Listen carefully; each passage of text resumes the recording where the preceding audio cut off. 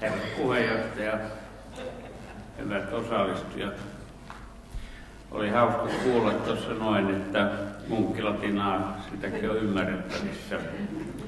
Minä en ole sitä vielä oppinut, vaikka on 22 vuotta ollut. Toinen asia, mikä kiinnitti huomiota, oli, että Pekka sanoi, että turkulaiset ei pärjää Savossa. Minä olen turkulainen 22 vuotta Mutta ei se mitään. Palamon luostarihan on ollut alusta pitäen noin 900 vuotta sitten perustettuna aina portti idän ja lännen välillä. Ja se on ollut myöskin portti verottajille, jotka kävi sitä silloin tällöin aina kovistelemassa. Ja sitten Jaakko tällä karttiin, kun oli oikein suustunut, niin se poltti koko talo. Näinhän olemme tänäkin päivänä. Emme ole muussa mielessä kuin uskonnossa mielessä portti ja lännen välissä. Ja tämähän näkyy siinä, että venäläinen ortodoksisuus yleensä löytää tiensä Suomessa hyvin helposti valmoon. Ja täytyy sanoa, että ihmiset puhuu, että asiakkaat ovat vähentyneet. Meillä ei ole asiakkaat vähentyneet luostarissa ollenkaan tämän niin sanotun laman aikana. Ainoastaan on yksi piirre, he käyttävät rahaa vähemmän, mikä on täysin ymmärrettävää. Siitä huolimatta luostari on kahden viimeisen vuoden aikana kohentanut talouttaan suhteellisen mukavasti ja olemme pääsemässä pois siitä viiden vuoden notkeesta, mitä meillä välillä oli eräiden henkilökokeilujen kokeilusta johtuen. Teimme vääriä valintoja ja siitä saimme kärsiä.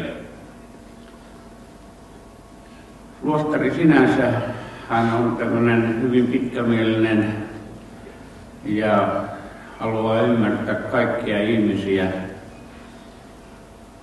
Mutta kyllä sielläkin me teemme töitä oikeastaan henkeen ja vereen, että minä siviilielämässä kun olin yritysjohtajana, niin sain kaksi kertaa vatsaavan. Luostarissa on saanut se jo kolme kertaa. Mutta ei se mitään, ne hermot on mennyt aika usein. Mutta ei se johdu siitä, että henkinen paine olisi samanlainen kuin ulkopuolisilla yrityksillä, vaan se johtuu lähinnä siitä, että munkit ovat erittäin kunnianhimoisia. Jos se asettaa jotain itselleen tavoitteita, niin myöskin siihen pyrkii. Luostarihan on elänyt kolme erilaista vaihetta. Ensimmäinen vaihe oli 40-60-luku, jolloin munkit opetteli tulevaan heinävetelälle, tai heinävetisiksi. Toinen vaihe oli, kun Helsingin nykyinen metropolita Ambrosius tuli luostarin taloudenhoitajaksi ja rupesi kehittämään luostaria, tekemään luostarista avointa luostaria ihmisille, ulkopuolisille pyhinvaihtajille.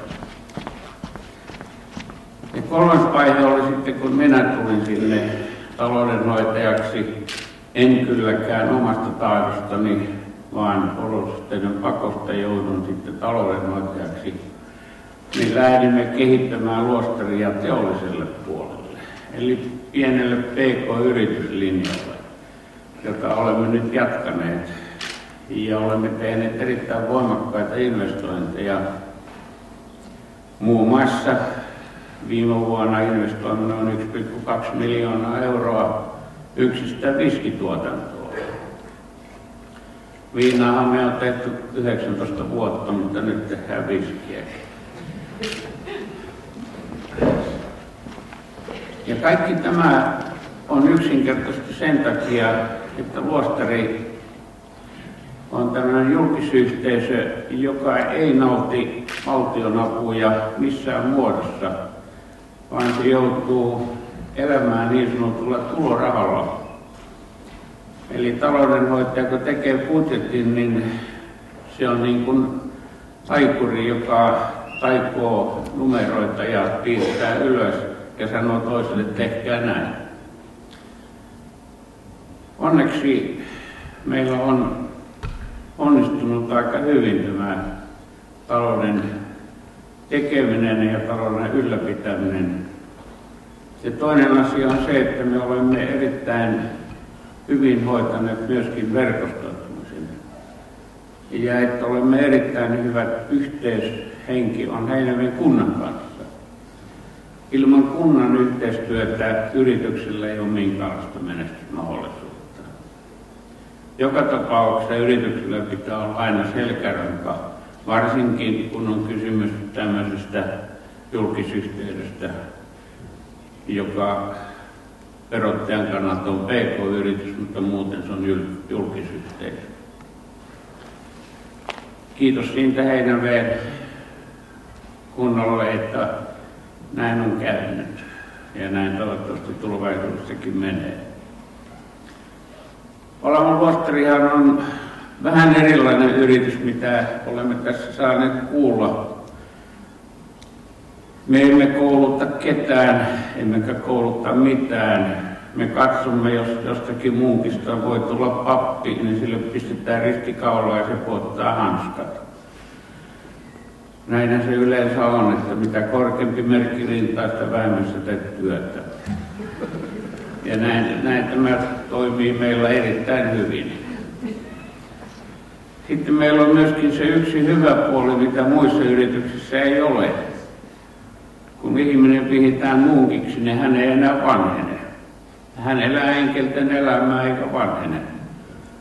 Minäkin ollut 22 vuotta enkä ole yhtään vanhentunut. Ainoastaan tukkaa varmaantunut, mutta se taas johtuu niistä vatsa Mutta Valamo kokonaisuutena on tämä Itä-Suomen yksi johtavia pisteitä niin sanotulle vierailijoille, jota me, josta me käytämme nimitystä pyhinvaihtaja. Ja me teemme erittäin mielellämme yhteistyötä kaikkien kanssa. Ja meillä ei ole yhtään sellaista yritystä, jonka kanssa me ei haluttaisi tehdä yhteistyötä. Mutta se on niin, että kaikkia yrityksiä me ei voida mainostaa, mutta yhteistyötä me kyllä ollaan valmis tekemään. Tämä yhteistyö on erittäin hyvin toiminut niin sanotulla matkailualalla, muun muassa Einärin kunnan kanssa sekä Varkauden Varkaudessa olevien erilaisten kylpylöiden ja muiden kanssa.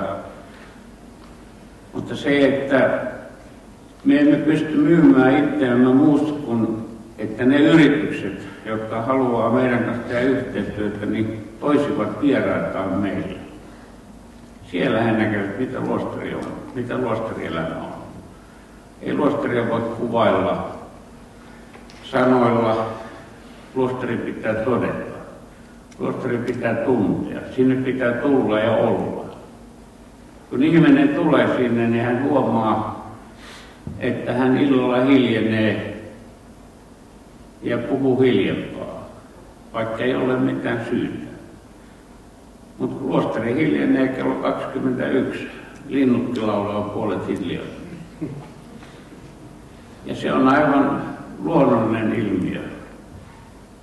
Ei siellä ruveta nukkumaan tai muuta, vaan siellä ruvetaan valmistautumaan illan askareihin. Munkit hiljentyy omiin rukouksiinsa ja vastaavat kirjeisiin, mitä asiakkaat on tullut. Ja valmistautuvat seuraavaan aamun kello viiden herätykseen. Tämän pitää myöskin kokea se ihminen, joka haluaa tietää, mitä luostari on.